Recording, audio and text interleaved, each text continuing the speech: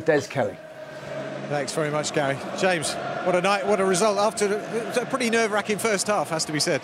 Yeah, it was. Um, you know, they're a good team. They're always going to put you under pressure. We knew that. Um, you know, we couldn't get out. We needed to be higher and put a bit more pressure on them. If you give good players time on the ball, they're going to hurt you. And uh, they had chances, but you know, I think that shows a lot how we came out second half and went again and, and put in that performance and got the result.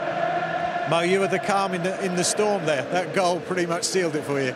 Yeah, I think it, the goal was in, on time for us because the, they were pressing very high and they had many chances. So in the beginning we struggled a little bit because they scored in the first two minutes. So after that we we come back, we, we played hard and uh, we get the result. That's the most important thing.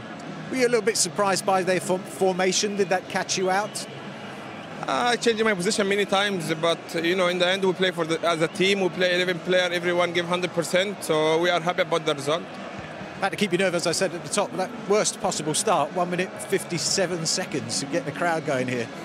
Yeah, in a way, maybe it woke us up as well. You know that early, and um, you know I think, like I say, that says a lot about the boys to to come under that pressure first half, and, and at the end of the second game as well, really, and to go one down early on. Um, you know, got the crowd up. Like I say, they're a good team. They're always going to have chances, but you know, second half we got hold of it slightly more. Um, you know, we still have to improve, and we, we need to learn from from the tie. But I think um, everyone knows how good Man City are, to, so to beat them over uh, both games is, is, is a good confidence builder for us. Shows we're a good team, but again, there's a lot that we can learn from these two games as well. Bit of a lucky break in the first half. It looked like that Leroy Sané goal was a legitimate goal. But what was what was the message at half time then? we obviously wanted to improve. Like I say, we, we didn't get high enough, so we couldn't get the pressure on them, and, and that's as a team, everyone together. So we needed to do that. I thought we got about them a bit more second half.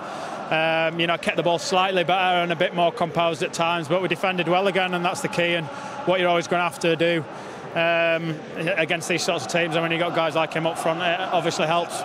You're enjoying that, Mo. The fans are enjoying it as much as you. It's a big, it's a big statement, isn't it, for Liverpool? A big statement for Liverpool into the last four for the first time in 10 years. Yeah, it's a good song. I like it, but you know, in the end, I said many times, well, I play for the team. I, I, try to score each game for to help the team to get a point, to, to win a games. That's the most important thing for me. Congratulations, gentlemen. Thanks for your time. Mo Salah, it's a good song. Yeah, deserves a good song. Great player. What a season he's having, isn't he?